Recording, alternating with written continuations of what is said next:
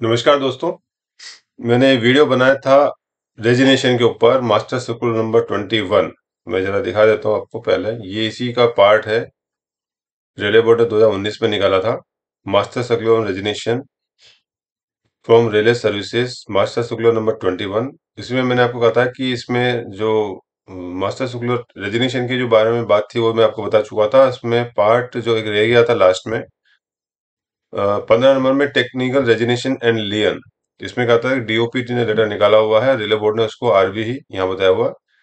इक्कीस बाय सत्रह से सर्कुलेट किया रेलवे बोर्ड ने। तो मैंने कहा था कि पहले रेजिनेशन की हम बात करते हैं तो रेजिनेशन हमारा कंप्लीट हो गया था। अब ये रेलवे बोर्ड का हम बात करेंगे technical resignation and lien consolidated guidelines जो टेक्निकल रेजिनेशन क्या होता है रेजिनेशन और टेक्निकल रेजिनेशन में क्या अंतर है, थोड़ा तो मैंने पिछले वीडियो में बताया था। आज हम थोड़ा बात करेंगे। तो आरबी एस्टेब्लिशमेंट नंबर 21 बाय 2017 से रेलिवेंट नेट निकाला है। सब्जेक्ट है technical registration and lien consolidated guidelines ministry of personnel public and pension pension department of personnel training DoPT का जो लेटर निकला है 17 आठ 2016 को। Containing policy guidelines on the various subject including that of technical registration lien exercise enclosed for necessary action and compliance the instruction guidelines contained therein will apply mutatis mundis on journal railway also तो यानी जो DOPT जो letter निकाला है 17 आठ 2016 का यह letter railway पर भी लागू होगा। और टेक्निकल रजिस्ट्रेशन के कई सारे मामले आजकल लोग जीडीसी एलडीसी इधर उधर कई जा रहे हैं, बाहर से लोग आ रहे हैं आरआरबी में आ रहे हैं। पुरानी सर्विस का काउंट करने का क्या बेनिफिट मिलेंगे, नहीं मिलेंगे, काफ़ी लोगों को डाउट है और लोग डिटेल में नहीं जाते हैं। तो मैंने कोशिश की इस वीडियो से मेरे ख्याल से कई लोगों को फ़ायदा होगा। काफ़ी इंपॉर्टेंट वीडियो ज़रूर दिखेगा जो डील कर रहे हैं, साथ में जो लोग इनसे बेनिफिशियल रहेंगे, सभी, लगभग सभी एम्प्लॉय को कभी ना कभी जाना पड़ सकता है। तो क्या क्या बेनिफिट है, इस पर हम बात करेंगे। तो ये डीओपीटी का लेटर है। सत्रह अगस्त 2016 को सब्जेक्ट में technical resignation and lien consolidated guidelines है। तो अब हम बात करते हैं सबसे पहले टेक्निकल रजिस्ट्रेशन के ऊपर बात करते हैं टू पॉइंट वन में एज पर मिनिस्ट्री ऑफ़ फाइनेंस जो लेटर है 1965 the resignation is treated as technical formally when a government servant is applied through proper channel for a post in the same or some other department and is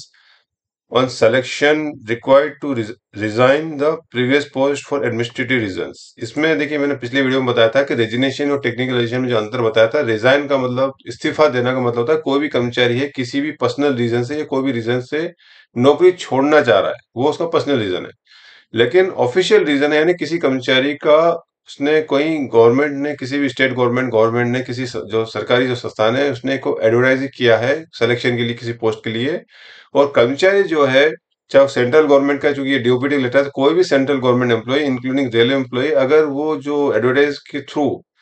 उसने through proper channel उसको apply किया। Through proper channel बताने की ज़रूरत नहीं है। अपने office के थ्रू उसने अप्रूवल लिया अपने कंपनी अथॉरिटी का कि मैं अप्लाई कर रहा हूँ इंटीमेशन दिया अपने ऑफ़िस में, उसको बोलते हैं थ्रू प्रॉपर चैनल अगर ऑफ़िस में इंटीमेशन दिया हुआ थ्रू प्रॉपर चैनल गया है, उसके बाद उसका सिलेक्शन हो जाता है वहाँ पर। तो ये पूरी एक लंबी प्रोसेस है। तो कोई भी मर्ज़ी, जब चाहे मर्ज़ी टेक्निकल नहीं दे सकता इसके लंबा प्रोसेस होता है। पहले आपको एग्ज़ाम देने के लिए अप्लाई करने के लिए भी आपको अप्रूवल लेना पड़ता है। फिर एग्ज़ाम देने के लिए अप्रूवल लेना पड़ता है। सिलेक्शन पूरा होता है। इंटीमेशन देना पड़ता है सरकार को। जब आपका फाइनल सिलेक्शन होता है तो आपको जो पिछली पोस्ट पे जहाँ करंटली काम कर रहे हैं, वहाँ आपको रिजाइन रखना पड़ता है। जो कि एडमिनिस्ट्रेटिव रीजन है this registration will be treated as technical registration तो जब आप किसी जगह सेलेक्ट हो जाते हो, किसी भी सरकारी state government central government organisation selection होता है थ्रू प्रॉपर चैनल आपका सिलेक्शन होता है, उसको बोलते हैं technical registration If these conditions are met, even if the government servant has not mentioned the word technical while submitting the registration, the benefit of past service, if otherwise administered under rule, may be given as such case. इसमें कहा गया है कि कर्मचारी ने अगर technical registration word नहीं भी लिखा हुआ कई बार ये इश्यूज़ बहुत आते हैं कर्मचारियों को मालूम नहीं होता है और वो कहीं सेलेक्ट होते हैं सिंपल रजिस्ट्रेशन देते हैं इवन एक रूल और मैं बता दूँ वॉलेंट्री रिटायरमेंट के अंदर भी एक नियम है कि कोई कर्मचारी ने जो पुराने जो पेंशन रूल 1993 में गवर्न होते हैं उसके लिए भी रूल है कि कोई भी कर्मचारी ने अगर 20 साल की सर्विस कर ली है पेंशनेबल सर्विस कर लिया, वो सिंपल रिजाइन लिख रहा है तो उसको रिजाइन नहीं माना जाएगा, उसको वॉलेंट्री रिटायरमेंट माना जाएगा। ये भी एक सरकारी नियम है और इसमें भी यही कहा गया है कि अगर किसी का थ्रू प्रॉपर चैनल उसने अप्लाई किया और थ्रू प्रॉपर चैनल प्रॉपरली उसका सिलेक्शन हुआ है, उसने सिर्फ़ रेजिग्नेशन लिखा है तो भी that will be treated as deem to be technical design ये वर्डिंग है तो उसको टेक्निकल डिज़ाइन ही माना जाएगा उसको सारी जो पुरानी सर्विस के बेनिफिट है, वो उसको मिलेंगे। ये भारत सरकार का लेटर बोलता है resignation in other cases including where competent authority has not allowed the government servant to forward the application through proper channel will not be treated as technical resignation and benefit of past service will not be as ये तो हुआ कि जब technical agent कब count करें, जब उसका through proper channel उसने अप्लाई किया है अप्रूवल हुआ सक्षम अधिकारी जो कंप्यूटर अथॉरिटी का अप्रूवल लिया लेकिन कई मामले में competent authority due to shortage है या जो भी रीजन है, उन्होंने मना कर दिया है फॉरवर्ड नहीं किया है। जनरली तो कर देते हैं मैं देखा। लेकिन इसमें जो नियम की बात है, अगर फॉरवर्ड नहीं किया है। या इसका मतलब ये हुआ है कि थ्रू प्रॉपर चैनल नहीं किया। दोनों इश्यूज़ थे। या तो उसको फॉरवर्ड ही नहीं किया अप्रूव नहीं किया कंप्यूटर अथॉरिटी ने या एम्प्लॉय डायरेक्ट अप्लाई किया बिना थ्रू प्रॉपर चैनल के हुआ। तो ऐसे मामले में एक सक्षम अधिकारी ने अनुमोदन नहीं दिया है। तो ऐसे मामले को जो है टेक्निकल एडिशन नहीं माना जाएगा और उसको पुराने सर्विस का कोई भी सर्विस को काउंट करने का बेनिफिट भी नहीं मिलेगा। Also, no question of benefit of resignation being treated as technical arising in cases of it being a post hold on ad hoc basis अगर इसके अलावा एडोक बेसिक्स पर काम कर रहा है तो भी बेनिफिट नहीं मिलेगा, ये कहा गया है। 2.1.2 this benefit also admissible to government servant who have applied before joining the government service and on that account the application was not routed through proper channel the benefit of service allowed in such cases subject to fulfilment of the following ये मामले भी जब मैं deal करता था, बहुत सारे आते थे कि लोग, कई लोग क्या करते थे कि जो जैसे मैं रेलवे की बात करूँ तो रेलवे में आरआरबी का एग्ज़ाम देते थे तो देने के बाद जब तक तो वो ज्वाइन करता था, कई बार दो साल, तीन साल, चार साल हो जाता था। और इस दौरान उसने कहीं और भी अप्लाई किया हुआ होता था तो जब रेलवे में आता था तो ऑब्वियसली ज्वाइनिंग से पहले उसने अप्लाई किया हुआ था तो ऑब्वियसली थ्रू प्रॉपर चैनल जाने का सवाल ही नहीं उठता। इस मामले में भी two point point two para बोलता है कि अगर किसी कर्मचारी ने ज्वाइनिंग से पहले भी अगर उसने अप्लाई किया हुआ है तो उस मामले में थ्रू प्रॉपर चैनल नहीं आएगा, उस मामले में बेनिफिट दिया जा सकता है सब्जेक्ट टू फॉलोइंग कंडीशन कुछ शर्तों के पूरा होने पर अगर निम्नलिखित काम उसने किए हैं तो उसको भी बेनिफिट मिलेगा। पहला क्या है? The government servant should intimate the details of such application immediately on the joining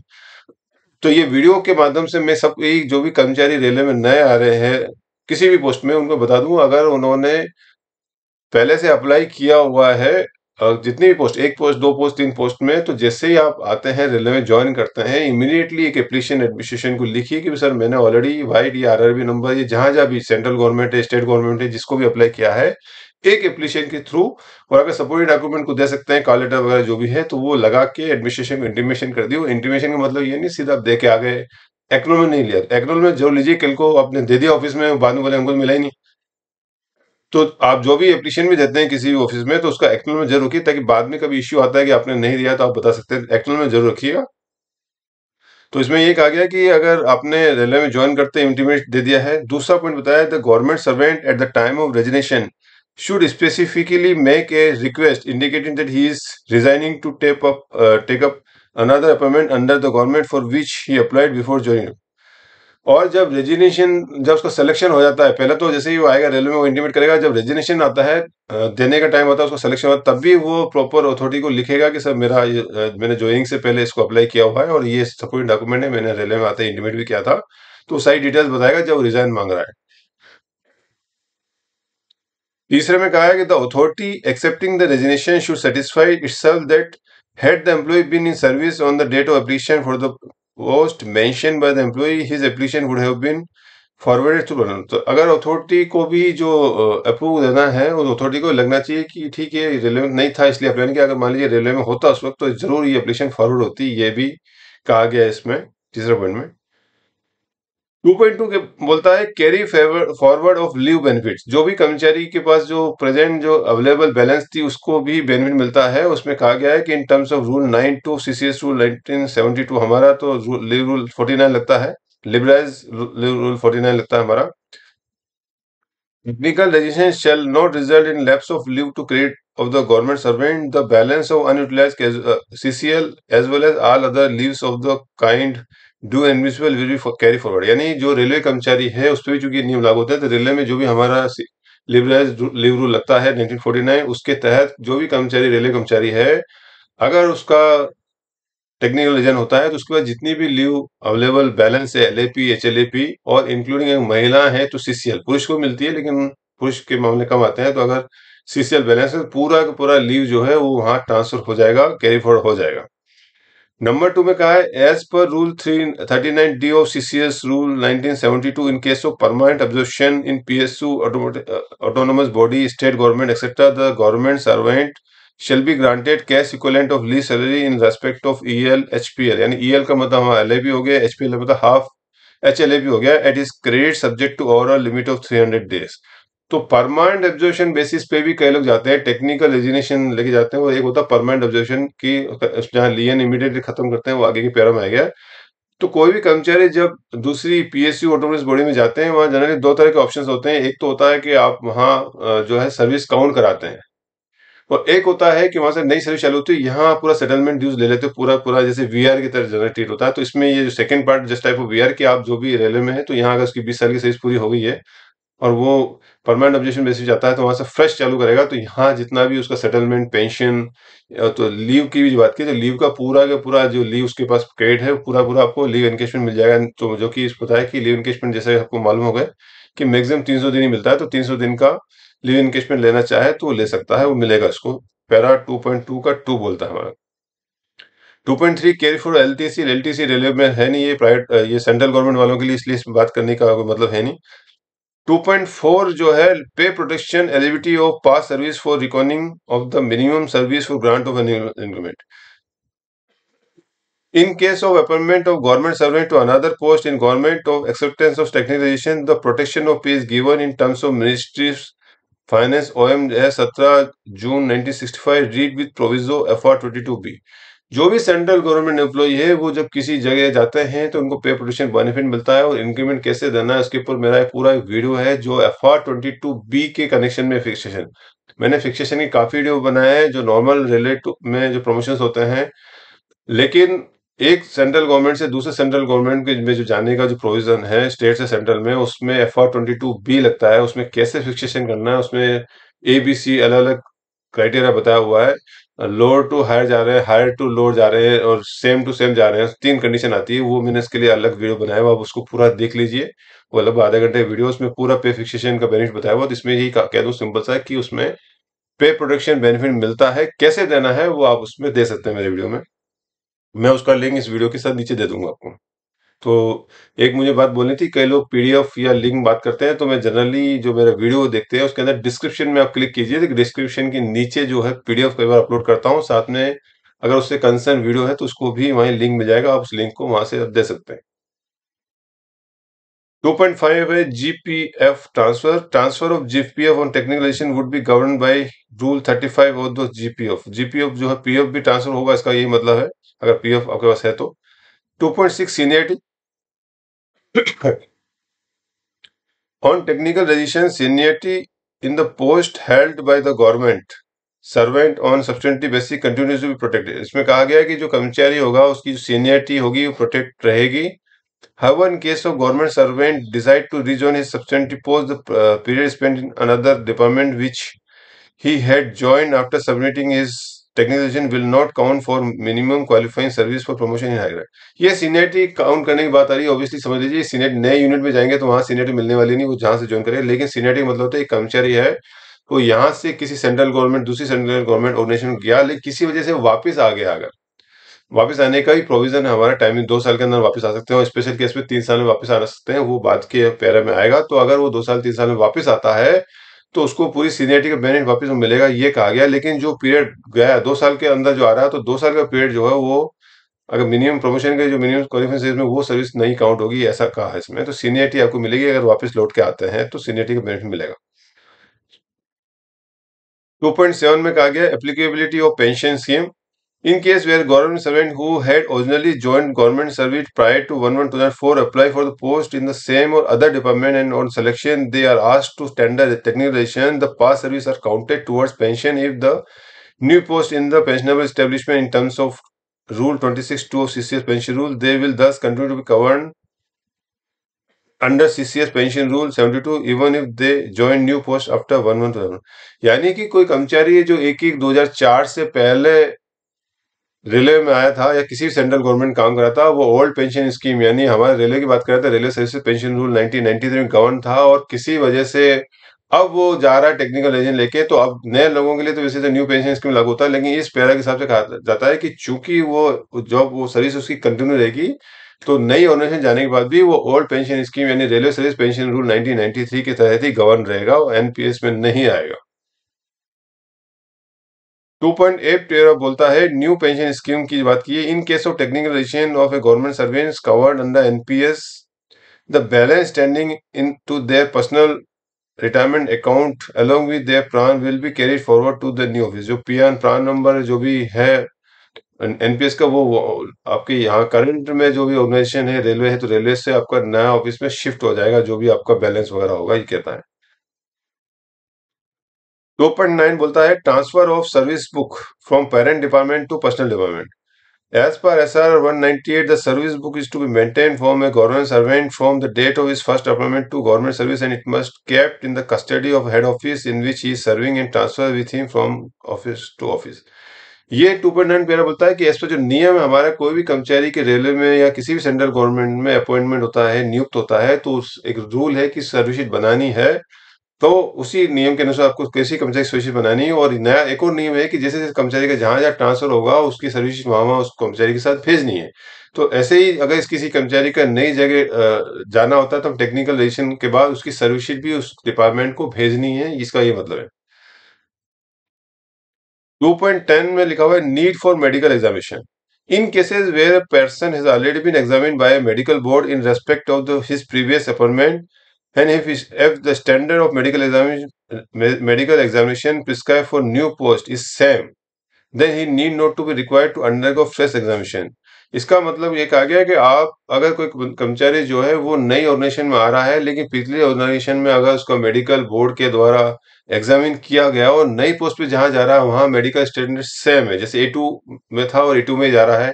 B one में था बी वन में जा रहा है बी टू में था बी टू में जा रहा है। तो अगर सेम है तो उसको दोबारा मेडिकल एग्जामिनेशन करने की ज़रूरत नहीं है। हालाँकि इसमें थोड़ा एक इश्यू मैं बता दूँ मेरे, मेरे पास भी एक केस आया था तो एकदम बाहर से दिखने में से ऐसा लगता है कि जो कोई कर्मचारी बाहर से आ रहा है और सेम मैं तो नहीं करना लेकिन इसमें जो वर्डिंग को हम पकड़े हैं तो इन्होंने कहा है कि in case where person is already been examine by medical board तो ये मामला मैंने हमारे जो सीएमएस साहब को भेजा था अहमदाबाद की बात बता रहा हूँ उसमें उन्होंने ऑब्जेक्शन लिया था क्योंकि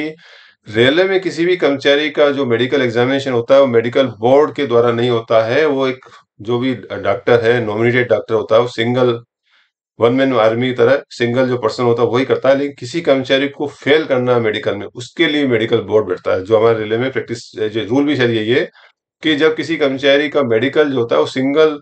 जो डॉक्टर होता है, वो करता है, वही उसको फिट देता है, लेकिन किसी को फेल करना है तो उसमें जो हमारे मेडिकल के जो रूल है, उसके हिसाब से मेडिकल बोर्ड बैठता है, और बोर्ड ही किसी को फेल कर सकता है सिंगल आदमी नहीं कर सकता तो चूँकि इसमें कहा गया है कि मेडिकल बोर्ड द्वारा एग्जामिन चूँकि किसी भी कर्मचारी का रेलवे में मेडिकल बोर्ड से एग्जामिनेशन नहीं होता है, इसलिए यहाँ एक इश्यू आता है कि क्या उसको करना है कि नहीं करना है, लेकिन सेंट्रल गवर्नमेंट के नियम है, रेलवे बोर्ड को इसमें क्लियरिफिकेशन देना चाहिए। फ़िलहाल नहीं है तो हम तो जनरली जो है दोबारा उसका करवाते हैं, क्योंकि इसमें जो मेडिकल बोर्ड वर्ड है, वो हमारी कंडीशन फुलफिल नहीं होती, क्योंकि मेडिकल बोर्ड एग्जामिन नहीं करता है। जहाँ तक रेलवे की बात कर रहा हूँ।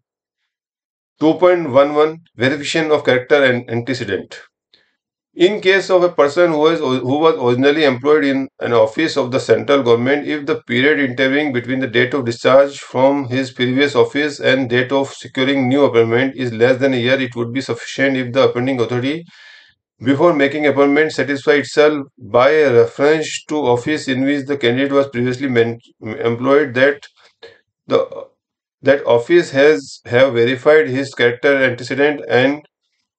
B may his conduct while in employ, employee in that office did not render him unsuitable for employment under government यानी कोई कर्मचारी का जो कैरेक्टर हम वेरीफाई करते हैं कैरेक्टर एंटीसीडेंट जो वेरीफाई करते हैं उसके बारे में कहा गया है कि अगर कोई भी कर्मचारी एक पोस्ट एक डिपार्टमेंट छोड़ के जब नई जगह जा रहा है, उसमें अगर एक साल से कम का पीरियड जनरल एक साल से कम का ही होता है, हम जनरल आदमी दस दिन, पंद्रह दिन, महीने में ज्वाइन कर लेता है तो बहुत रेयर केस में ऐसा हुआ, एक साल से ज़्यादा होगा। Normally within one year ही आदमी ज्वाइन कर लेता है। तो उसमें दोबारा से करेक्टर जो वेरिफिकेशन करेक्टर एंटीसीडेंट वेरीफाई करने की ज़रूरत नहीं है, ऐसा कहा गया। अगर जो अपेंडिंग अथॉरिटी वो सेटिस्फाई करता है, वो एक रेफरेंस लिखेगा, जहाँ पे आया हो वहाँ पे वो चाहता है तो वो वहाँ से वेरीफाई करवा सकता है, या अगर वहाँ सामने वाले अथॉरिटी लिख देता है कि जहाँ जो काम करता उसका जो चाल चलन उसका बराबर था जो भी था उसका उसके पास पुलिस केस वगैरह नहीं था। इन सब मामलों में अगर सेटिस्फाई कर देती सर्टिफाई कर देती पुराने ऑर्गेनाइजेशन तो दोबारा से उसका करेक्टर वेरिफिकेशन की आवश्यकता नहीं है। ये कहा गया है इसमें If, however, more than a year has lapsed after the discharge of a person from the previous office, verification should be out in full afresh in accordance with जो डीओपीटी का जो लेटर है नंबर दो जुलाई eighty two. यानी एक साल से कम है और अपेंडिंग अथॉरिटी को लगता है कि भाई पुराने ऑफ़िस को रेफरेंस कर सर्टेन बातें जान ली जाए, उसके बारे में सर्टिफाई कर लिया जाए तो दोबारा से फ्रेश करने की ज़रूरत नहीं लेकिन अगर एक साल से ज़्यादा होगा तो फिर करना ही पड़ेगा। ये हमारा पेरा टू पॉइंट वन बोलता है। अब हमारा ये टेक्निकलाइजेशन के पार्ट में लियन वाला पार्ट आ रहा है, जो सेकंड पार्ट है। 3.1 हमारा लियन का पार्ट है। इसमें कहा गया थ्री पॉइंट वन वन में lien is defined in F R nine thirteen it represent the right of a government employ to hold a regular post whether permanent of temporary either immediately और on the termination of period of sense the benefit of having a lien in the post service cadre is enjoyed by all employ who are confirm in the post service cadre entry who have been promoted to a her post declare as having complete the profession where it is prescribe It is also available to those who have been promoted on regular basis to higher post where no pro provision is prescribed under this rule in as the case may. Sorry देखिए लियन के बारे में मैंने एक बार पहले भी एक मैं वीडियो बना रहा था जिसमें क्वेश्चन को सॉल्व करते बताया था। लियन को समझना थोड़ा सा आ, मुश्किल हो सकता है लेकिन मैं अगर समझा रहा हूँ तो मुझे लगता है आपको थोड़ा इजी लगेगा। लियन के बारे में मैंने आपको बताया था जैसे कि एक शरीर और एक आत्मा। समझना चाहता आत्मा किसी ने देखी है? हम खुशबू को सूंघ सकते हैं, नाक से देख सकते हैं। लाइट तो दिखता है और एक होती है ध्वनि साउंड साउंड को हम महसूस करते हैं, लेकिन देख सकते। हैं इसी प्रकार कुछ चीज़ें है, लेकिन दिखाई नहीं देती। ऐसे लियन जो है, वो आपको कहीं दिखाई नहीं देगी प्रैक्टिकल में, किताबों में। से एक डेफिनेशन है, उसको समझने की आप कोशिश कीजिए। तो लियन जैसे एक शरीर होता है, उसकी आत्मा होती है। एक शरीर जो होता है, आपका, मेरा शरीर जो है, क्या बिना आत्मा की शरीर होती है नहीं होती। ऐसे कोई भी पोस्ट होता है पोस्ट के साथ उसमें लियन जुड़ा होता है। कोई पोस्ट हो स्टेशन मास्टर की बात करूँगा तो स्टेशन मास्टर एक पोस्ट है तो उसका एक लियन जुड़ा होगा। तो हर एक पोस्ट के साथ एक ही लियन जैसे एक शरीर में एक ही आत्मा होती है, हमारे फॉर फ़िल्म भूत प्रेतों में कई बार दो आत्मा आ जाती है, वो अलग बात है, वो फिल्मी बात है, मैं जस्ट थोड़ा सा हट के बात कर रहा था। तो जैसे एक शरीर और एक आत्मा, उसी प्रकार एक पोस्ट एक लियन तो हर पोस्ट के साथ एक लियन होगा। तो जिस प्रकार शरीर बिना से अगर आत्मा हटा दें तो शरीर क्या होता है? निर्जीव हो जाता है। उसी प्रकार और हटाना नहीं चाहिए, हर शरीर के साथ एक आत्मा होती है और आत्मा के लिए भी ज़रूरी होती है कि उसको एक शरीर मिले, न तो उसका भी कोई अस्तित्व नहीं तो यानी कि दोनों एक दूसरे के पूरक है। सिमिलरली कोई भी कर्मचारी होता है, उसको भी एक लियन होना ज़रूरी होता है और लियन हमको देना ज़रूरी है। इसमें यही कहा गया इस पैरा में कि कोई भी कर्मचारी, जैसे वो परमानेंट होता है, जब तक वो टेम्पररी है प्रोविज़न पीरियड में तो नहीं, जैसे वो रेगुलर होता है परमानेंट हो जाता है तो इमीडिएटली वो जो है उसको लेन मिल जाता है और ये लेन जब तक वो पोस्ट पे रहता है तब तक मिलेगा और जैसे किसी दूसरी और पोस्ट पे जाएगा तो वो यहाँ का लेन खत्म होगा और वहाँ का लेन चालू होता है जैसे मैंने बताया कि आत्मा एक शरीर में एक आत्मा होती है और कई बार ये दिखा, देखा होगा जब पुनः जन्म होता है तो उसकी आत्मा यहाँ से निकल के दूसरे जन्म में चलेगी। सेम एक आदमी जब एक पोस्ट से जुड़ा हुआ आता है तो वहाँ उसके साथ लियन होता है। जैसे उस पोस्ट से ट्रांसफ़र होकर किसी और पोस्ट पे जाता है तो उस पोस्ट के साथ लियन नई पोस्ट जैसे नया लियन मिलेगा आपको पुराना उसके लियन खत्म हो जाएगा। तो एक एट ए टाइम एक ही लियन रहेगा ये कहा गया इसमें 3.1.2 the above right will however be subject to condition that no junior most person in the cadre will be liable to be reverted to the lower post service cadre if at any time post number of persons so entitled is more than a post available in that cadre ये एक fundamental rule है इसको लियन के subject में डाला हुआ है। मेरे हिसाब से लियन की ज़रूरत नहीं कोई भी फंडामेंटल एक रूल है कि हमारे कोई भी कैडर होता है कैडर का मतलब आपका ग्रेड की बात करूँ मान ली मैं स्टेशन मास्टर की बात करूँ। आज की तारीख में हमारे स्टेशन में एक forty two hundred level six और लेवल सेवन दो है। इसके बाद लेवल एट वगैरह भी आ गया था। लेवल सिक्स का मान लीजिए कैडर और लेवल सेवन का कैडर तो मान लीजिए लेवल सिक्स का जो कैडर है आपका दो ही कैडर माने आपको। लेवल सिक्स में मान लीजिए आपके चालीस है और लेवल सेवन में मान लीजिए आपको साठ कैडर है। साठ का कैडर है मतलब। तो सिक्स फोर्टी एंड सिक्सटी तो सिक्सटी के कैडर में लेवल सिक्स के कैडर में, मान लीजिए साठ का कैडर था और आपका किसी वजह से पोस्टें पाँच पोस्टें आपकी सरेंडर हो गई है। और पाँच आदमी आपके जो थे, ये सरेंडर हो गई, ये डाउनग्रेड होके नीचे आ गई आपकी। तो नीचे चालीस की जगह पैंतालीस हो गई है और ऊपर आपकी पचपन हो गई तो नियम ये जो three point one point two बोलता है कि इसमें जो इस तरह के मामले कैडर कम हो जाएगा तो आपके जो भी जूनियर मोस्ट एम्प्लॉय है, आपके पाँच वो रिवर्ट होके नीचे आएँगे, आपके बयालीस सौ लेवल सिक्स में आएँगे। फंडामेंटल रूल हालाँकि प्रैक्टिकल में देखा होता नहीं है जनरली लोग चलाते जाते हैं कि पाँच लोग कोई नहीं रिटायर होंगे, मरेंगे, कुछ तो कुछ होगा। लेकिन प्रैक्टिकल ऐसा होता नहीं, लेकिन रूल ये है कि आपके पाँच आदमी जो है, उनको रिवर्ट करके आपको 42 में लेके आना है, ये नियम की बात हो रही point two lien on that post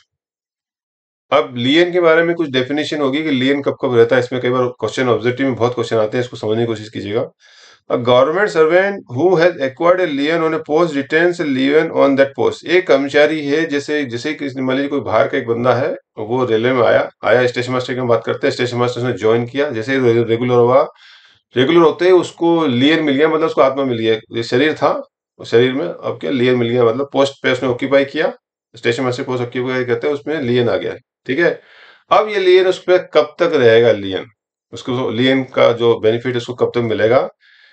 retain से लियन उधर कब कब लियन रहेगा उसके पास while performing the duty of जब तक ड्यूटी में रहेगा लियन रहेगा रहेगा ऑब्वियसली बिना लियन के न तो आदमी पोस्ट रह पाएगा, न लियन भी विदाउट पोस्ट रहेगी नहीं।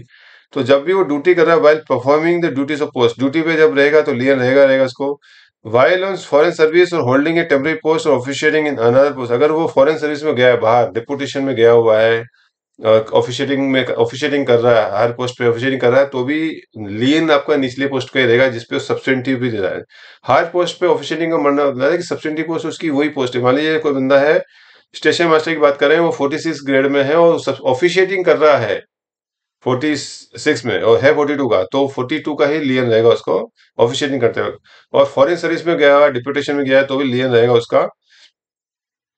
तीसरा है during joining time on transfer to another post unless he is transfer substantially to post lower pay in which his which case his lien is transfer to new post from the date on which he is relieved of his duties on the old post कोई कर्मचारी है, जैसे मैंने बताया कि कर्मचारी है, उसका एक स्टेशन ए स्टेशन से बी स्टेशन ट्रांसफ़र हुआ है तो ए स्टेशन से ट्रांसफ़र होने के बाद ज्वाइनिंग टाइम लिया उसने दस दिन, बारह दिन, जो पंद्रह दिन मिलता है। तो ज्वाइनिंग टाइम में भी यहाँ से रिलीव हो गया ए स्टेशन से बी स्टेशन के लिए बीच में ज्वाइनिंग टाइम में सामान शिफ्ट कर रहा है। तो भी उसको ज्वाइनिंग टाइम में भी उसको ए स्टेशन पे, जिस पोस्ट पे था, उस पोस्ट पे उसका लियन रहेगा, जब तक वहाँ ज्वाइन नहीं किया। ज्वाइन करते ही यहाँ से लियन खत्म होगा, और वहाँ लियन चालू हो जाएगा। तो तो इसमें कहा गया है सी के अंदर कि ज्वाइनिंग टाइम के अंदर ही पिछला वाला जो पोस्ट था उसका लियन रहेगा। लेकिन एक कंडीशन की है कि unless he transfer substantially to post on lower pay in which his lien is transferred to the new post from the date on which he is relieved यानी कर्मचारी जो है, मैं वापिस स्टेशन मास्टर की बात करूँगा कि अगर बयालीस से बयालीस में गया है सॉरी छियालीस बयालीस सौ से बयालीस सौ में गया है, बयालीस सौ छियालीस में गया यानी सेम पे पे गया है या हार पे गया तो आपका लियर रहेगा ड्यूरिंग ज्वाइन टाइम लेकिन अगर बयालीस सौ अट्ठाईस में हालेंगे अभी स्टेशन मास्टर की नहीं है तो एग्ज़ाम दिया मान लीजिए कोई बंदा लोअर पोस्ट पे अगर जाता है, बयालीस सौ अट्ठाईस सौ पे, तब उसका इमीडिएटली लेन टर्मिनेट हो जाएगा और वहाँ पे उसको, जहाँ पे गया अट्ठाईस का तो यहाँ से जिस दिन ज्वाइनिंग टाइम में भी अट्ठाईस का नहीं, जो सामने जिस पोस्ट पे जा रहा है, उसका लियन वो एक्वायर कर लेगा। ये कहा गया है इसमें। ई के अंदर कहा गया वाइल ऑन लीव छुट्टी के अंदर भी आपका लियन रहेगा और वाइल अंडर सस्पेंशन तो एक कर्मचारी जो होता है नॉर्मली क्या क्या परिस्थिति होती है, एक रेलवे एम्प्लॉय को भी कर्मचारी सेंट्रल गवर्नमेंट है, या तो वो ड्यूटी पे करेगा नॉर्मली वो नाइन्टी परसेंट ड्यूटी पे रहता है। उसके बाद या वो छुट्टी पे रहता है नॉर्मली कोई भी आदमी, आम, मैं, आप जो भी हैं, वो या तो ड्यूटी पे रहेंगे, या छुट्टी पे रहेंगे, ठीक है? ये दो चीज़ें होती है। तीसरी चीज़ जो होती है, वो होती है ट्रांसफ़र में। हर आदमी का ट्रांसफ़र ऐसा तो है नहीं कोई एक जगह आया, वहीं ज़िंदगी में मारा तो ज्वाइंट टाइम में भी हर आदमी रहता है। तो ये ज्वाइंट टाइम रहा। ऑन रिक्वेस्ट ट्रांसफ़र में वो लीव पे रहता है वो एडमिनिस्ट्रेशन ग्राउंड ट्रांसफ़र में ज्वाइंट टाइम तीन चीज़ें नॉर्मली हर आदमी की होती है। उसके बाद जो होता है, कई बार अभी डिपुटेशन वगैरह में इधर जाते हैं एक्सकेडर जाते हैं, जैसे मैं भी गया था विजिलेंस में चार साल काम किया था तो एक्सकेडर पोस्टर में गया था। तो भी मेरा लियन यहाँ रहा था एक्स कैडर पोस्ट पे। तो आप एक्स कैडर पोस्ट पे डिप्रेशन में गए हो तो वो एक संभावना बनती है, वो भी मैंने ले लिया। उस दौरान में लियन मेंटेन किया। अब कुछ बहुत शरीफ लोग होते हैं जो सस्पेंशन में जाते हैं। उनका लियन भी जो सस्पेंशन पीरियड में होता है, जो आदमी इन पाँच कंडीशन में ही जनरल रहता है तो कुछ शरीफ लोगों के लिए जो सस्पेंशन रहते हैं, उनके लिए है कि उनका भी लियन आपको रहेगा ड्यूरिंग सस्पेंशन में आपका लियन रहेगा। तो ये पाँचों जो सरकमटांसेस होते हैं, एक आम रेलवे कर्मचारी सरकारी कर्मचारी के तो इन पाँचों सरकमटांसेस में लियन मेंटेन रहेगा। ये हमारा 3.2 पैरा बोलता है। A government servant on acquiring a lien on a post will cease to hold any lien previously acquired on other post. तो जैसे ही कोई कर्मचारी किसी पोस्ट पे लियन एक्वायर करता है, यानी मैंने जैसे बताया कि ए स्टेशन से बी स्टेशन ट्रांसफ़र हुआ या बी पोस्ट पे जा रहा है तो जैसे उसने बी का लियन लिया, लेते ही पहला एक अप्रैल जो है टर्मिनेट खत्म हो जाएगा, इसमें ये बात बोल रहा है। तो जन ने ये मैं बता दूँ आपको कि एक आदमी एट ए टाइम दो पोस्ट का लियन नहीं ले सकता एट ए टाइम में एक ही लियन मिलेगा उसको तो पुराना रहेगा या नया रहेगा। अगर पुराना, जैसे नया लेता है तो पुराना वाला उसका लियन खत्म हो जाएगा। और एक बार लियन खत्म हो गया, फिर बंदा वापस उस पोस्ट नहीं आ सकता है। फिर चैनल थ्रू प्रोपर चैनल होगा, वैसे नहीं आ सकता थ्री पॉइंट थ्री बोलता है retention of lien for appointment in another central government office state government जैसा कि आपको मालूम है हमारे रेलवे में कई लोग जो होते हैं, वो दूसरी पोस्टों के लिए अप्लाई करते हैं। मैंने ऊपर भी जैसे बताया था आपको। दूसरे सेंट्रल गवर्नमेंट में जाते हैं टेक्निकल लेके टेक्निकल रेजिस्ट्रेशन लेके लेते हैं, जो भी है, दूसरी सिलेक्शन होता है। टेक्निकल की डेफिनेशन मैंने बताई थी कि कोई भी कर्मचारी थ्रू प्रॉपर चैनल कोई एग्ज़ाम एग्ज़ाम दे के ये जो भी उसको इंटरव्यू के बेस पे उसको सिलेक्शन होता है, वो जो नौकरी छोड़ता है।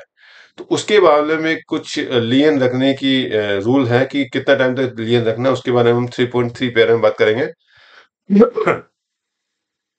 वन बोलता है permanent government servant appointed in another central government department of his state government has to resign from his parent department unless he is reverted to the department within a period of two years or three years in external तो normally कोई कर्मचारी है वो यहाँ से एक department छोड़ के डिपार्टमेंट ऑफ़िस स्टेट गवर्नमेंट जो भी छोड़ के जब नई जगह जाता है तो उसका मैक्सिमम जो लियन रहेगा लियन उसको रिजाइन करना पड़ेगा दो साल के अंदर और एक्सेप्शनल जो जो विषम परिस्थितियों में एक्सेप्शन सर्कमस्टांसेस को अपरिहार्य परिस्थिति बोलेंगे हिंदी में अपरिहार सर्कमस्टांसेस मामले में तीन साल तक रख सकते हैं तो नॉर्मली कोई बंदा एक ऑफ़िस डिपार्टमेंट से दूसरी ऑफ़िस जब जाता है, उसका मैक्सिमम जो लियन हम रखेंगे, दो साल तक रखेंगे मतलब दो साल के अंदर वापस आ सकता है। एक बार उसका लियन खत्म कर दिया दो साल का तो फिर वो नहीं आ पाएगा तो दो साल तक वापस आता है। और एक्सेप्शन केसेस में तीन साल तक उसका हम लियन रखेंगे। एक्सेप्शन केसेस क्या है, वो अभी आप बताएँगे। An undertaking to abide by this condition may be taken from him at the time of forwarding his application to other department. जब उसका हम एप्लीकेशन फॉरवर्ड करेंगे तो इस मामले में एक अंडरटेकिंग ले लेंगे कि भाई मैं दो साल के अंदर आऊँगा, नहीं आऊँगा, जो भी बात है नंबर टू जो है द एक्सेप्शन केसेस में B when the government servant is not confirm in the department office where he is joined within period two years जो एक्सेप्शन सर्कमस्टेंसेस बताए थे, जहाँ तीन साल लगना, अगर कोई भी कर्मचारी है वो दूसरी जगह गया हुआ, वहाँ वो रेगुलर हो गया कंफर्म हो गया इमीडिएटली पंद्रह दिन में, महीने में साल में तो फिर आपका टर्मिनेट करना है, आपको लियन नहीं रखना है। लेकिन अगर वहाँ किसी वजह से कोई एक्सेप्शन सर्कमस्टेंस हो गए किसी भी कारणों से अगर दो साल के अंदर कन्फर्म नहीं हुआ है तो उसको फिर एक साल और मिलेगा, ये कहा गया है? In such cases he may be permitted to lien retain the lien in parent department office for more one year तो अगर मान लीजिए किसी वजह से दो साल के अंदर जनरली कंफर्मेशन हो जाता है, हमारे सेंट्रल गवर्नमेंट का नियम है रेलवे का भी, कि दो साल में प्रोविज़न पीरियड खत्म हो जाता है। और नहीं हो रहा है, उसको कंफर्मेशन दो साल में नहीं मिल रहा है तो एक साल के लिए और पेरेंट डिपार्टमेंट जो भी उसका ऑफ़िस है, वहाँ लियन रखा जाएगा। While granting such permission a fresh undertaking similar to one indicated above may be taken from the employ अगर इस सेम जैसे हमने ऊपर पेरा वन में अंडरटेकिंग लेना है, ऐसे दोबारा अंडरटेकिंग लेना है लियन के बारे में कि एक साल हम रखेंगे, उसके बाद नहीं आया तो आपका लियन टर्मिनेट कर देंगे। Timely action should be taken to ensure extension, reversion, resignation of the employee who to their parent cadres on completion of prescribed period of two or three years. तो उन्होंने कहा है कि दो तीन साल जो भी होते हैं कोई कर्मचारी जाता है तो दो तीन साल होते हुए उसको एक्सटेंशन करना है रिवर्जन करना है रेजिग्नेशन के बारे में जो भी समय पे उसके ऊपर जो है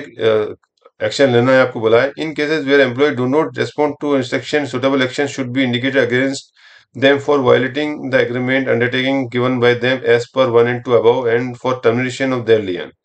तो अगर को कर्मचारी को जो है आपको उसमें एक्शन लेना है रिवर्जन करना है, क्या है भैया तुमको वहाँ दो साल हो गए, आना है, नहीं आना, क्या है, उसके बारे में आपको कॉस्पोंडेंस करना है और अगर एम्प्लॉय जवाब नहीं देना है तो उसके खिलाफ एक्शन लेना है जो भी और टर्मिनेशन के लियन को टर्मिनेट करने के बारे में आपको एक्शन लेना है. Adequate opportunity may how be given to officer prior to such concession यानी किसी को को रेस्पॉन्स नहीं दे रहा तो सीधा उसको टर्मिनेट नहीं कर देना है। आपको एक शोकन नोटिस आपका जो भी हम कहते हैं ना अपॉर्चुनिटी देनी हालाँकि मैं बता दूँ रेलवे में हमारा सिस्टम ये नहीं है कि हम जनरली टेक्निकल जो मेरा, जितना मैंने रूल पढ़ा है, समझा है, उसके हिसाब से कोई भी कर्मचारी जब दूसरी ऑर्गेनाइजेशन में जाता है तो उसको जब वहाँ कंफर्म हो जाता है, तभी हमको टेक्निकल देना होता है कि जब तक कंफर्म नहीं हो रहा है टेक्निकल नहीं देना चाहिए। तो जब कंफर्म हो जाता है, तब टेक्निकल देना चाहिए। और दो साल में नहीं हो तो हम एक साल और बढ़ाते हैं। फिर जब भी कंफर्म होता है टेक्निकल देना होता है। लेकिन हमारे रेलवे में जो मैंने देखा प्रैक्टिस यही है कि कोई कर्मचारी जा रहा है तो हम यही टेक्निकल दे देते हैं उसका। और जनरली एक दो साल के अंदर अगर आना चाहता तो हम उसको ले भी लेते हैं। तो जनरली हमारे रेलवे की जो प्रैक्टिस मैंने देखी है जनरली जो हमारे आसपास में जो है, वो तो यही कि इमीडिएटली हम टेक्निकल दे देते हैं। तो उसके लिए पैरा थ्री में जो फॉर्मलिटीज करना है, उसकी मेरे से ज़रूरत नहीं पड़ती है। और में कहा गया temporary government servant will be required to sever connection with the government in case of their selection for outside post no lien will be retain such cases तो जो टेम्परेरी गवर्नमेंट सर्वेंट है लियन देने का जो रिटेन लियन को रखने का जो पीरियड दो साल या तीन साल है, वो सिर्फ़ परमानेंट गवर्नमेंट एम्प्लॉय के लिए रूल है। टेम्परेरी जो गवर्नमेंट सर्वेंट है, उसके लिए कहा गया है, उनको इमीडिएटली रिलेशन हमारे खत्म करने पड़ेंगे, जो भी अगर नई जगह आप जा रहे हो, और उनके लिए लियन को रखने का कोई नियम नहीं है। साफ़ मना कर दिया है कि टेम्परेरी गवर्नमेंट के सर्वेंट के मामले में कोई लियन नहीं रखा जाएगा।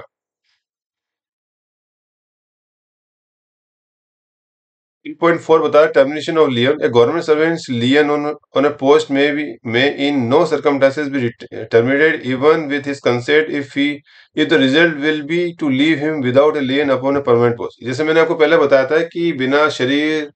शरीर में आत्मा के बिना कोई शरीर नहीं होगा, शरीर है तो आत्मा होनी चाहिए। सिमिलरली कोई भी पोस्ट है तो उसमें लियन होता है तो कोई भी कर्मचारी अगर किसी पोस्ट पे है तो उस पर लियन होना ज़रूरी है। किसी भी कर्मचारी को बिना लियन को किसी नहीं रखा जाएगा। अगर कर्मचारी लिख के भी देता है तो भी अगर विलिंगली भी बोलता है तो नहीं, आपको आपको इस पोस्ट में लियन रखना ही पड़ेगा। Unless his lien is transferred a government servant holding a permanent post retains lien on that post अगर किसी का लियन ही ट्रांसफ़र हो गया तो अलग बात है। जब तक तो किसी को, किसी भी एम्प्लॉय हो, बिना लियन के रह नहीं सकता तो अगर उसके पास किसी और का लियन वो एक्वायर कर लेता है तो है आपको टर्मिनेट करना है। Otherwise he must carry his lien of the previous post. It will not be correct to deny government servants lien to a post he was holding substantially on the plea that he has not requested for retention of lien while submitting his technicalization or to relieve such a government servant with a condition that on that no lien will be retained. तो इसमें कहा गया है कि ये बहुत सही नहीं होगा कि आप कोई भी कर्मचारी को टेक्निकल दे रहे हो, आपने लियन रखा ही नहीं, बोला नहीं, उसने बोला ही नहीं हमको लियन रखने के लिए, रखो, या फिर आपने किसी का टेक्निकल रजिस्ट्रेशन दे दिया, उसको भगा दिया, जाओ, हम लियन रखेंगे ही नहीं, आपने रिक्वेस्ट भी नहीं किया तो ये सब गलत प्रैक्टिस है, कोई भी कर्मचारी जाता है तो आपको दो साल मिनिमम उसका लियन रखना ही है even if employ has not requested there में भी possibility he was not aware of the rule so we have to maintain the lien until either two years or three years in exceptional circumstances. 3.4.2 A government employee's lien on a post shall stand terminated on his acquiring a lien on a permanent post whether under central government or state government outside the cadre which he is born. इसमें वही बात मैंने कही थी कि जैसे ही कोई कर्मचारी किसी और पोस्ट पे लियन एक्वायर करता है यानी ए पोस्ट पे बंदा था ट्रांसफ़र हो गया उसका वहाँ ज्वाइन करता है जैसे मैंने बता दूँ आपको ज्वाइन टाइम मैं तो पुरानी पोस्ट का ले रहा जैसे वो नई पोस्ट पे ज्वाइन करेगा तो नई पोस्ट ज्वाइन करते ही वहाँ का उसको मिल जाएगा और लियन मिलते ही यहाँ का टर्मिनेट हो जाएगा। इसका मतलब ये भी निकलता है कि जैसे किसी भी जैसे कोई बंदा है, जैसे हमने बताया है कि दो साल लियन रखना है उसका, ठीक है ना? तो दो साल लियन अगर हम रख रहे हैं, इसका मतलब वहाँ नई जगह उसको लियन नहीं मिला है। इसका ये मतलब समझ लीजिए तो यानी जैसे ही वहाँ लियन मिल जाता है तो फिर आपका यहाँ लियन टर्मिनेट हो जाए। ऐसा होने का, ऐसा नहीं होगा कि वहाँ का भी बंदा लियन एंजॉय कर रहा है, यहाँ का भी कर रहा है, ये नहीं होगा। लियन अगर जैसे तो लियन जैसे ही वहाँ नई ऑर्गेनाइजेशन जाएगा, नई गवर्नमेंट, जो भी सेंट्रल गवर्नमेंट ऑर्गेनाइजेशन होगा, या स्टेट होगा, अगर वहाँ जैसे वो लियन एक्वायर करेगा, यानी जैसे वह कंफर्म होगा तो यहाँ का लिनियन आपको टर्मिनेट कर देगा। यहाँ वो चीज़ 3.4.2 बताया हुआ है। No lien shall be retain अब लियन कहाँ नहीं रखना? जैसे नॉर्मली उन्होंने बता दिया कि लियन कोई भी कर्मचारी किसी एक ऑर्गेनाइजेशन से दूसरे ऑर्गेनाइजेशन ऑफ़िस जाता है डिपार्टमेंट जाता है तो लियन मेंटेन करना है आपको। लेकिन कुछ मामले में लियन मेंटेन नहीं करना है। वो बताया 3.4.3 में where a government servant has proceeded on immediate objection basis to a post or service outside the service cadre post in the government from the date of objection. तो इसमें कहा गया कई बार जो बंदे होते हैं, मैंने देखा है, जो पीएससी वगैरह में जाते हैं तो वो परमानेंट ऑब्जेक्शन बेस पे जाते हैं, कि जाते हैं उनका परमानेंट ऑब्जेक्शन तो ऐसे मामले में आपको लियन नहीं रखना। जैसे वहाँ उनका ऑब्जर्वेशन होता है तो वहाँ ऑब्जेक्शन होते ही वो जनरली दस पंद्रह दिन के टाइम के अंदर ऑब्जेक्शन हो जाता है तो ऑब्जेक्शन होते ही या लियन आपको खत्म कर देने का। इमीडिएटली तो नहीं करना है, जिससे जैसे आपने आज टेक्निकल दिया तो कल से खत्म नहीं करना है आपको। जिससे वहाँ ऑब्ज़र्व हो जाते हैं, जो जिसमें आपको दस दिन, पंद्रह दिन, महीने का टाइम लगेगा उसको जैसे वहाँ उसने परमानेंट ऑब्जेक्ट हो गया, या उनका लियन टर्मिनेट कर देना आपको। On foreign service deputation beyond the maximum limit admissible under the order of government issued from tribunal जैसा कि आपको मालूम है, लोग फॉरेन सर्विस में जाते हैं या डिप्यूटेशन में जाते हैं तो डिप्यूटेशन के टाइम है पाँच साल, सात साल जो भी डिप्यूटेशन किसका टाइम है, उस टाइम के अंदर वो नहीं आते हैं तो फिर उनका लियन जो है टर्मिनेट कर देने का है। इसमें एक चीज़, मैंने एक रूल और पढ़ा हुआ है, जिसमें नहीं लिखा हुआ है कि जो परमानेंट ऑब्जेक्शन बेसिस के अंदर नॉर्मल लियन टर्मिनेट का है, लेकिन जैसे मैंने कहा है कि जनरली जो जर्नी टाइम दस पंद्रह दिन का टाइम देते हैं, और किसी वजह से जो ए के अंदर बता दूँ कि अगर परमानेंट ऑब्जेक्शन में जाते हैं, लेकिन कई बार होता है कि 10-15 दिन में कुछ सर्कमस्टेंस चेंज होते हैं और एम्प्लॉय का मूड बदलता है, जो भी रीजन है, वो वहाँ नहीं ज्वाइन करता है और वापस आता है तो वापस हम उसको ले लेंगे। ऐसा नहीं कि एक बार हमने भगा दिया तुम जाओ बताना तो जब तक वो नई पोस्ट पे जाके वहाँ एब्जॉर्व नहीं होता है या वहाँ का लियन नहीं करता तो उतना एक शॉर्ट पीरियड के लिए हम रखते हैं। अगर कोई कर्मचारी परमानेंट बेसिस पे गया है एब्जॉर्वेशन गया और शॉर्ट पीरियड में वाले दस पंद्रह दिन पंद्रह दिन में कुछ सर्कमस्टेंसेस कोई भी चेंज हो गए और वापस वो बैक करके आता है तो हम उसको ले लेंगे उसको, मना नहीं करना उसको कि नहीं, हमको तो हमने तो आपको तो दिया परमानेंट ऑब्जेक्शन अब हम नहीं लेंगे, वो गलत तरीका है, आपको वापस लेना है उसको। लेकिन वह एक बार उसने परमानेंट ऑब्जेक्शन हो गया, अगर एक दिन के लिए भी हो गया, फिर उसको नहीं लेंगे हम, उसने ये मैं बता दूँ आपको, अगर वो परमानेंट ऑब्जेक्शन होकर उसने एक दिन में ज्वाइन कर लिया और वहाँ परमानेंट ऑब्जेक्शन हो गया, चाहे वो एक दिन में काम किया उसने तो लियन टर्मिनेट हो जाएगा, फिर हम उसको नहीं लेंगे। Lien transfer of lien The lien of government servant who is not performing the duties of the post to which lien pertains can be transferred to another post in the same cadre subject to the provision. Lien transfer की बात की है अब 3.6 में कहा गया है joining time joining time पे ट्रेवलेंस कोई भी कर्मचारी जब ट्रांसफ़र होगा एक स्थान से दूसरे स्थान पर जैसे आपको मालूम है कि ज्वाइंट टाइम मिलता है जो ट्रेवलिंग अलाउंस जो मिलता है उसके बारे में जो बेनिफिट की बात हुई है provision relating to joining time are as follows. For appointment to post under central government on result of a competitive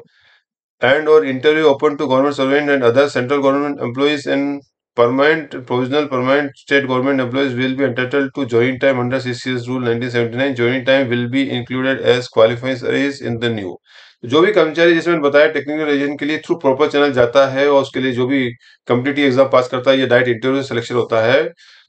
तो वो उसको जो है इसमें कहा है कि जोइनिंग टाइम का बेनिफिट मिलेगा और जोइनिंग टाइम के दौरान उसको सर्विस जो होगी उसकी क्वालिफाइंग सर्विस काउंट होगी। ये कहा गया आपका para three point six point one six point two बोलता है government servant on joint time shall be regarded as on duty during the period and shall be entitled to the pay to be paid joint time pay equal to the pay which he was done before of the charge of the person तो इसमें ये भी कहा है number two में कि joint time के दौरान उस, पीरियड को ड्यूटी माना जाएगा। और उस दौरान उसको पे भी मिलेगा और जो भी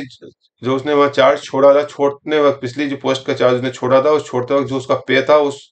ड्यूरिंग ड्यूरिंग टाइम भी उसको वो पे मिलेगा। He will also entitled to DNS allowance उस पे के ऊपर उसको डीए भी मिलेगा। If any appropriate to the joint time pay, in addition to, he can also draw compensatory allowance like house rent allowance as applicable to old station from which he was transferred. तो इसके साथ उसको H भी मिलेगा, जो old station का जो H था रेट था, वो उसको मिलेगा। He shall not be allowed conveyance allowance और परमानेंट ट्रेवलिंग अलाउंस उसको जो है कन्वेंस अलाउंस और परमानेंट अलाउंस नहीं मिलेगा, ये कहा गया इसने। 3.6.3 कहा गया है for appointment to post under central government on the basis of result of a competitive and और interview open to central government servant and other central government employees and permanent provisional permanent state government employees shall be entitled to transfer travelling allowance देने की बात की है, ये generally मैं कहता हूँ, शायद तो सिटीजी होगा। सिटीजी भी मिलना चाहिए ट्रांसफ़र ट्रेवलिंग अलाउंस का मतलब सिटीजी होगा। रेलवे की परिभाषा में कहा तो ये मेरा व्यू है। How temporary central government employees with less than three years of regular continuous service would not be entitled for TT जो तीन साल से कम, जो टेम्प्रेरी सेंट्रल गवर्नमेंट एम्प्लॉय हैं, जिनकी तीन साल से कम सर्विस है, उनको टीटी यानी अगर रेलवे की परिभाषा में कहा जाए सीटीजी नहीं मिलेगा। तो मैं तो बता दूँ एंड में कि जितना भी बातें मैंने कही है, ये सिर्फ़ मेरा इंटरप्रेशन है पर्सनल इंटरप्रेशन है, इसको प्लीज़ ऑफिशियली ना लिया जाए, क्योंकि हर रूल का अपना इंटरप्रेशन होता है, हर व्यक्ति अपना इंटरप्रेशन करता है। कई बातें हम जब अपने फ़ायदे के लिए उसको इंटरप्रेशन करते हैं तो अर्थ का अनर्थ हो जाता है। तो प्लीज़ अगर आप इसको जब आपके यहाँ क्लेम करते हैं तो उसको ऑफिशियल वे में आप अप्लाई करें और जो भी वहाँ संबंधित सक्षम अधिकारी हैं उससे अनुमोदन लें वो इस, लेटर को पढ़ के वो क्या इंटरप्रेशन करते हैं वो क्या बेनिफिट आपको देते हैं वो उस पर डिपेंड करता है कि सक्षम अधिकारी क्या निर्णय लेते हैं। मुझे जो इंटरप्रेशन ठीक लगा मेरे हिसाब से वो मैंने आपको बताया है। उम्मीद करता हूँ ये वीडियो भी आपको पसंद आएगा और काफ़ी लोगों को काम आएगा। तो अगर आपको मेरे वीडियोस अच्छे लग रहे हैं तो सब्सक्राइब ज़रूर करें। सब्सक्राइब करने से हमको भी मोटिवेशन मिलता है और लाइक ज़रूर करें। और अगर अच्छे लग रहे हैं तो अपने साथियों को भी रूल के बारे में बताना चाहें तो शेयर ज़रूर करें। धन्यवाद।